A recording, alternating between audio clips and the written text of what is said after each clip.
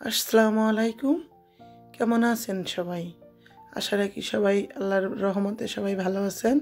আলহামদুলিল্লাহ, আমরাও ভালো আছি। Welcome back to my channel তো, এই যে মাহে রমজানের দ্বিতীয় পার্ট নিয়ে চলে এলাম। তো, প্রথম পার্টে অনেক কিছুই দেখিয়েছিলাম, যে অনেক কিছুই করেছিলাম। তো, বাকি যেগুলো বাকি ছিল, সেগুলো আজকে করে নিচ্ছি। তো প্রথমে আমি ধনিয়া পাতাগুলো খুব ভালোভাবে ধুয়ে কুচি কুচি করে কেটে কিছু আইস কিউবই রেখেছি, আর একটা বক্সে রেখেছি, একটা, এটা একটা বক্সে এখন আমি এই যে খেজুর নিয়ে এসেছিলাম, এক কিলো, তো খেজুরগুলো আমি খুব ভালোভাবে ধুয়ে নিব। ধুয়ে আমি একটা কাঁচের জারে রেখে দিব। তো আমি যথারীতি খেজুরগুলো ধুয়ে নিয়েছি। নিয়ে একটা টাওয়ালের উপরে আমি পানিগুলা যাতে টাওয়ালে শুকিয়ে যায়, তো সেইভাবে আমি টাওয়ালের উপরে দিয়ে একটু মুছে নিচ্ছি। তো মুছে নিয়ে আমি আবার দুইটা পেপার টাওয়াল দিয়ে আবার একটু মুছে নিচ্ছি, যাতে কোনো পানি না থাকে। আসলে এই কাজগুলো যদি আমরা করে রাখি, তাহলে সন্ধ্যার সময় যে ছুটোছুটি হুড়োহুড়ি লেগে যায়। আর যেহেতু আমাদের বাচ্চাদের সব স্কুল খোলা থাকবে, পুরা রমজান মাসটাই ওদের স্কুল আর কোনো ছুটি নাই। ছুটি ছিল দশ দিন মতো, সেটা শেষ হয়ে গিয়েছে। তো পুরা রোজার মাস, পুরো রোজাটাই থাকবে স্কুল। তো সেহেতু আমাদের মানে স্কুলে দিয়ে আসা, নিয়ে আসা, এগুলো করা লাগে। তো ওই সময় কষ্ট যাতে কম হয়, সেই কারণে আমি অনেক কিছু আগের থেকে গুছিয়ে রাখছি। তো এই তো আমি একটা জারে ভরে রাখলাম, আর একটা এয়ারটাইট বক্সে করে আমি বাকিটা ফ্রিজে রাখব, আর একটা আমি টেবিলে রাখব। আর এখন আমি বসেছি এটা আদা ছোলা ছিলার জন্য।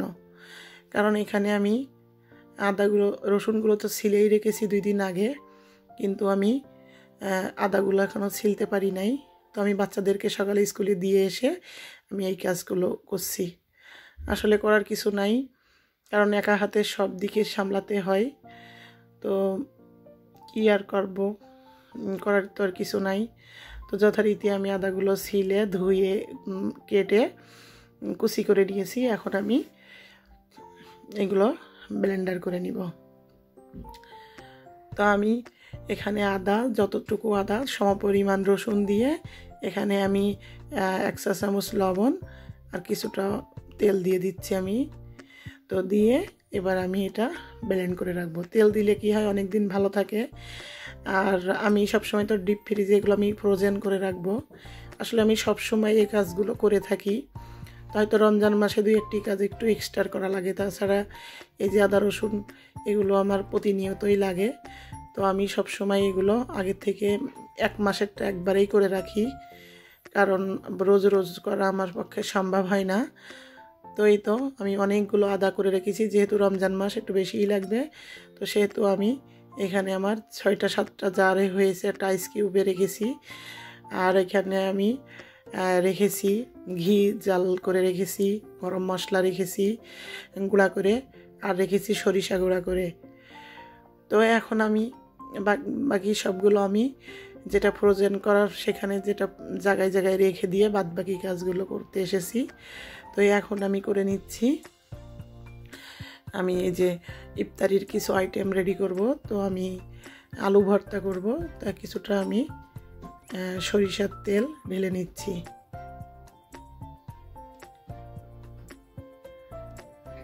আসলে এই কিছু কিছু কাজ আমাদের প্রতিনিয়ত করা লাগে। তো তেলটাও আমার শেষ হয়ে এসেছে। আসলে দেশ থেকে আসার সময় নিয়ে এসেছিলাম দুই লিটার মতো। তো এই তো প্রায় আধা কিলো একটু বেশি আছে। তো এই যে খুব বেশি কাজে ইউজ করি তা না। ভর্তা টর্তা খেলে বা একটু আচার দিতে চেয়েছিলাম কিন্তু হলো না। তো এখন আমি আলুটা ভর্তা করে নিব। তো এখানে আমি আলুর চপ বানাবো। তো আমি আলুগুলো নর্মাল যেভাবে আমরা আলুটা ভর্তা করি, আমি সেভাবেই ভর্তা করছি।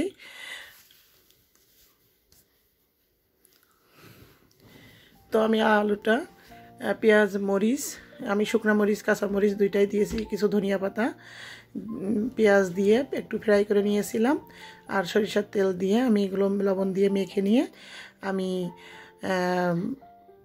কিছু লম্বাটে শেপ করেছি, কিছু গোল গোল চপের শেপ করেছি, করে আমি এখন দুইটা ডিম ভেঙে নিয়ে ডিমের সাদা অংশটা নিয়েছি, নিয়ে আমি একটু ব্রেড ক্রামে আমি গড়িয়ে নিচ্ছি। এভাবে খেলেও ভালো লাগে, আবার বেসনে চুবালেও ভালো লাগে। তো আমার হাজব্যান্ড আবার বেসনেরটাই বেশি পছন্দ করে। তো আমি আসলে যখন করব, তখন করব, এখন এগুলোই করে রাখলাম। আসলে আমার ফ্রিজে খুব বেশি জায়গা নাই, যে অনেক কিছু ফ্রোজেন করার মতো। তো হয়তো অল্প কিছু দিনের জন্যই করি। আর হয়তো প্রতিদিন তো আর ভাজা পোড়া খাওয়া হবে না, এক একদিন এক একটা এই আর কি। তো আমি এভাবে ব্রেড কেরামে আস্তে আস্তে করে সবগুলো আলুর চপ আমি গড়িয়ে নিব। আমি আসলে এর ভিতরে কোনো কিছুই দিইনি। অনেক সময় ডিম দিই, চিংড়ি মাছ দিই, তো আমি এই মুহূর্তে কিছুই দিচ্ছি না। অন্য সময় যখন বানাবো, তখন হয়তো বা শেয়ার করব। তো এই তো আমি সবগুলো মানে শেপ করা কমপ্লিট হয়ে গিয়েছে। আমি পানরা পানরা তো সরি এটাই হলো পানের, এটা স্প্যানিশ ভাষায় চলে আসছে আমার বারবার। আসলে আমি এগুলো ফ্রোজেন করেছিলাম, এখন ফ্রোজেনটা বের করে নিয়েছি। এটা হলো আপনার এই তো জমে গিয়েছে তো আমি একটা এয়ারটাইট বক্সে রেখে দেবো। আসলে স্পেনে এই যে ব্রেড ক্যাম্পরে বলে আম, পান রায়াদো তো বারবার সেই পানের গুঁড়াই হয়ে যাচ্ছিল তো কেউ কিছু মনে করবেন না। তো এখন আমি আরেকটা সবজি মতো করে নিব কিমা দিয়ে তো সেটাও রেডি করে নিয়েছি। তো এখানে আমি এক কিলো মতো গরুর মাংসের কিমা করে নিয়ে এসেছি। আর রেখেছি আমি বাঁধাকুচি বাঁধাকপি কুচি করে। রেখেছি, আর কিছু গাজর কুচি করে নিয়েছি, আর কিছু আলু, আর পেঁয়াজ, কাঁচামরিচ তো আছেই।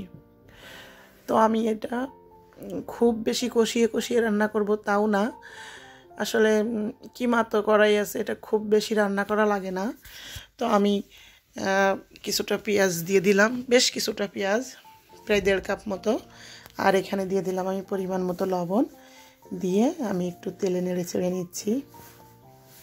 আমি কিন্তু খুব বেশি তেল দিইনি। কারণ অনেক যদি তেল দিই, তাহলে কিন্তু এটা তেল উঠে থাকবে। এই জন্য আমি তেলটা কম করে দিয়েছি। আর এখানে আমি দেড় টেবিল চামচ মতো দিয়েছি আদা রসুন বাটা। দিয়ে একটু নেড়ে চেড়ে আমি কিমাটা ঢেলে দিব। কারণ এটা আমার মানে আমি পেঁয়াজ, মরিচ, আদা রসুন এগুলো একসাথে দিয়ে দিয়েই মানে একটু ভাজা ভাজা মতো করে তারপরে আমি সবজিগুলো অ্যাড করে দিব একে একে। তো এগুলো আমি মানে আজকে আমার দুপুরে রান্না ছিল না।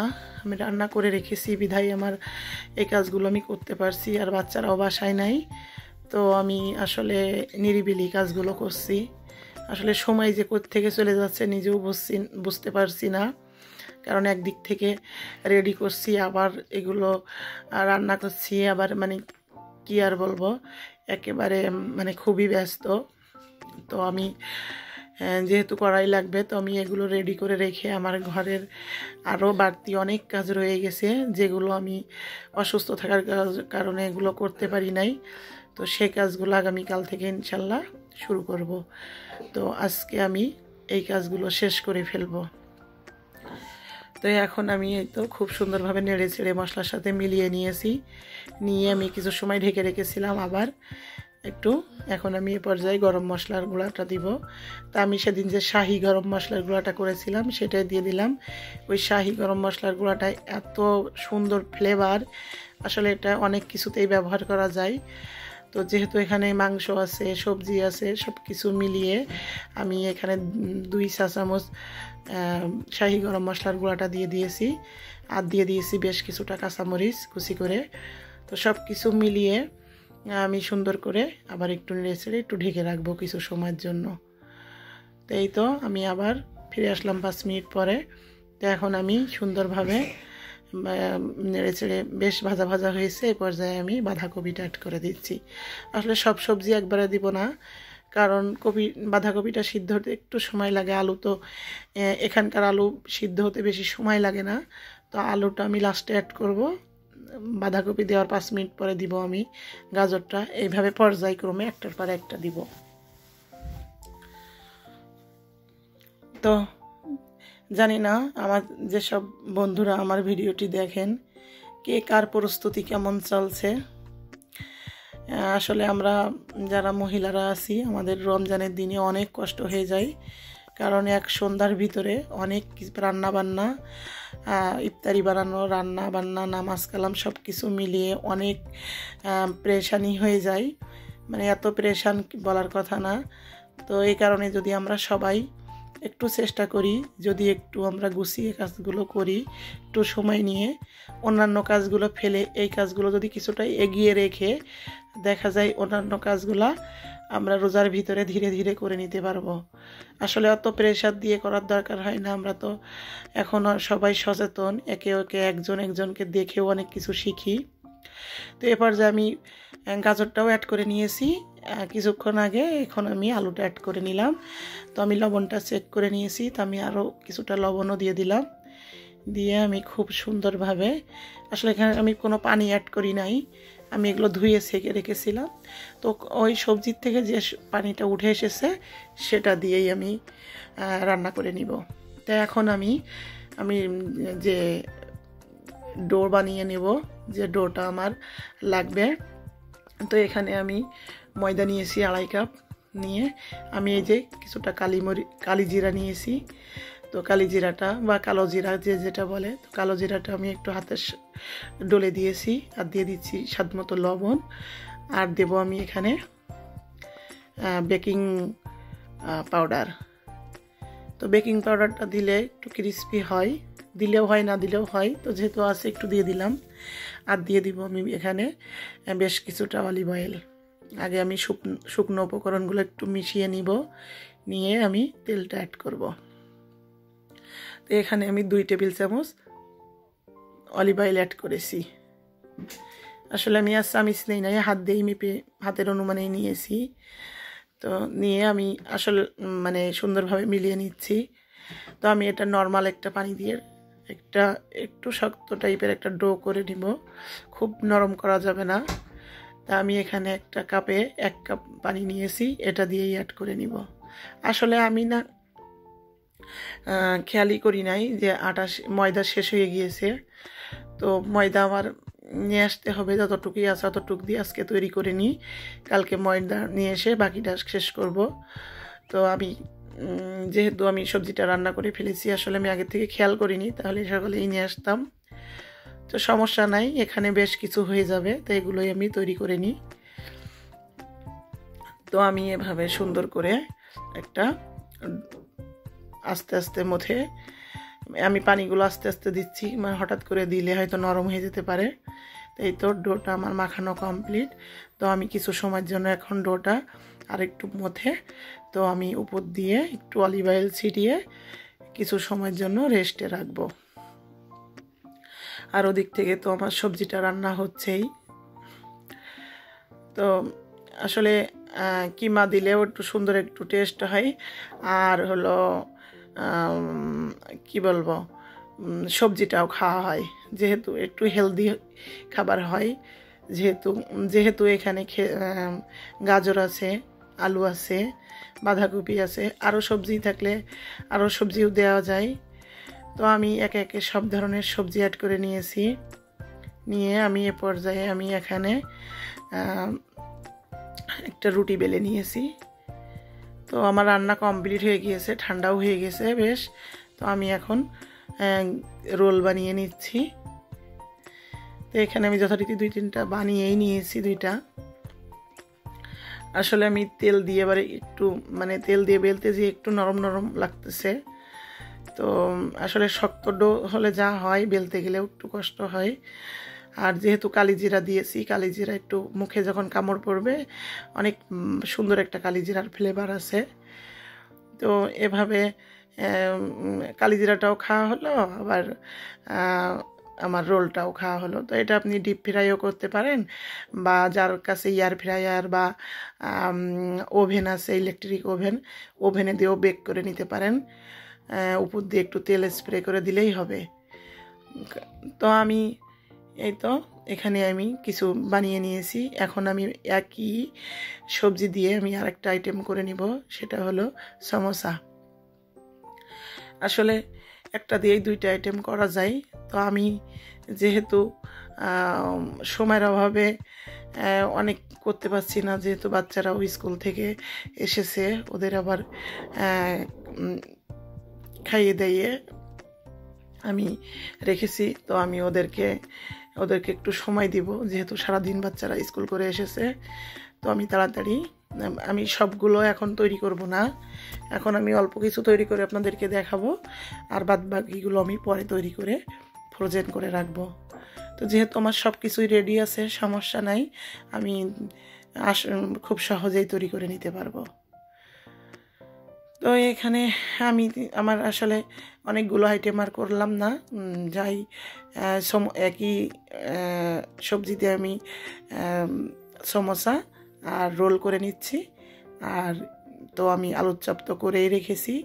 আর আগের দিন তো ছোলা করেছি ডাল বেটে রেখেছি। ইতে এগুলোতে মাসাল্লাহ আমার হয়ে যাবে। আর যদি মাঝে মাঝে লাগে তাহলে তৈরি করব। আসলে তো প্রতিদিন তো একই জিনিস খাওয়াও যায় না, ভালোও লাগে না।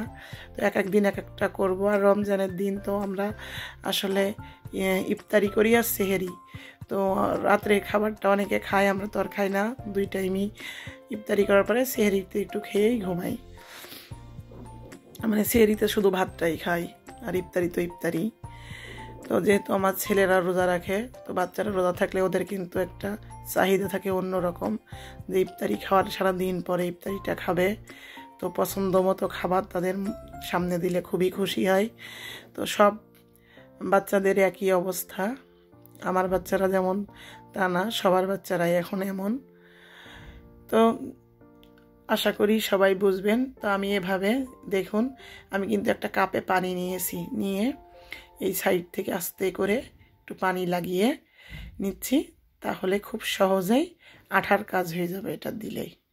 এই যে মুখটা ধরে আমি আস্তে করে একটা টিপজে নিয়ে এভাবে বানিয়ে নিচ্ছি। তো আশা করি আমার ভিডিওটি দেখে অনেকে উপকৃত হবেন। আর যদি উপকৃত হয়ে থাকেন, তাহলে অবশ্যই চ্যানেলটি সাবস্ক্রাইব করে পাশে থাকবেন। পাশে থাকা ছোট্ট বেল আইকনটি ক্লিক করে দিবেন। আরও অলরেডি যারা সাবস্ক্রাইব করেছেন, তাদেরকে অসংখ্য ধন্যবাদ। আর তাদের জন্য অনেক অনেক দোয়া রইল। তো যে যেখানে থাকবেন, ভালো থাকবেন, আমাদের জন্য দোয়া করবেন। আমিও সবাই জন্য দোয়া করি। আজ এ পর্যন্তই। আল্লাহ হাফেজ।